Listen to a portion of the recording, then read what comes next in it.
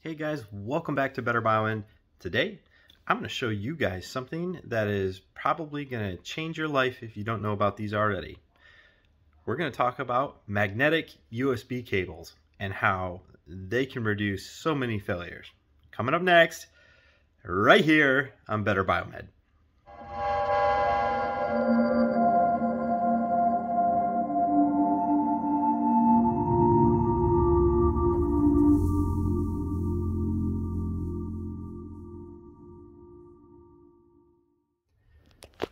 These are magnetic USB cables.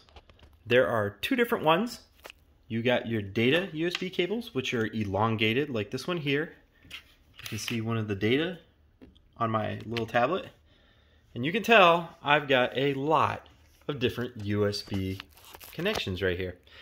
This is a charging station that I got off Amazon. And you can see I've got one or two of these magnetic USB kits installed and this is where my kids will attach and detach their own stuff so they're not plugging and unplugging from the ports damaging their devices. Now you can see all I gotta do is just yank it comes detached. Actually you can just kind of even lay it on the desk and it will go right back. See that? And you can see I've got it on my wireless headphones. I got some VR kits. I've got extra attachments but every single one of these has them. Now, why would I use these?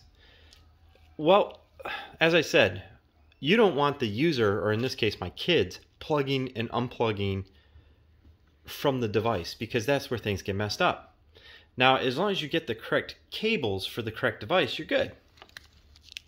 You see that these ones here are only two pole, which the magnet and the center ring right there, those are just positive and negative for charging. The data has four tiny, tiny little pins. Here, let's see if I can show you up close. See those ones right there? These are data magnetic USB cables. There is a difference. And the phone that I'm recording this in is a Note 10, and I transfer all these videos over to my PC using these magnetic uh, USB 2.0 connections. Now, I also have this in my car, so my phone can act as a GPS with my vehicle. It's super nice because let's say you get a yank hazard like this. You yank it, oh, look at that. It just attached itself right back. If you yank it, it doesn't yank the device off the countertop and, and break it on the floor. You see that? Look at that.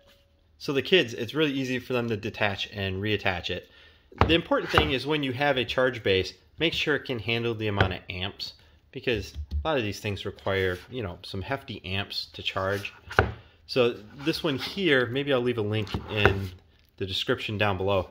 This guy is an awesome little charging bank. It's got 10 USB ports and it handles plenty of power. But why? Why would I use this in a medical field?